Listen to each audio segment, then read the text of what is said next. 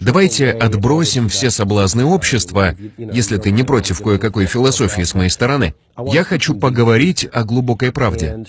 И я верю, что главная цель жизни — это не Феррари, часы, титул, большой дом или чтобы люди считали тебя красивым, классным и так далее. Я думаю, что в конце жизни, в последний час нашего последнего дня, все сведется лишь к одному — кем мы стали. Внесли ли мы необходимый вклад в то, чтобы пробудить героя, живущего внутри каждого человека, который нас сейчас смотрит? Научились ли мы превращать боль в силу? Научились ли трансформировать свои страхи в веру? Использовали ли мы в жизни потенциал, с которым родились? Речь не только о замечательных поступках, которые мы совершили по отношению к нашим близким и нам самим, но и о том, чтобы сделать мир лучше. Самая важная жизненная цель, когда мы отделяем ее от гипноза со стороны культуры и СМИ, Самая важная жизненная цель — расти.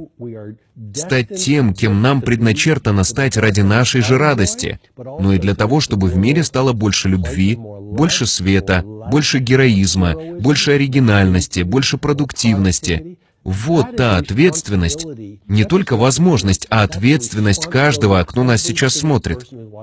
Приглушить эгоистичные стремления и сказать, «Жизнь так коротка, мне стоит сделать что-то прямо сейчас».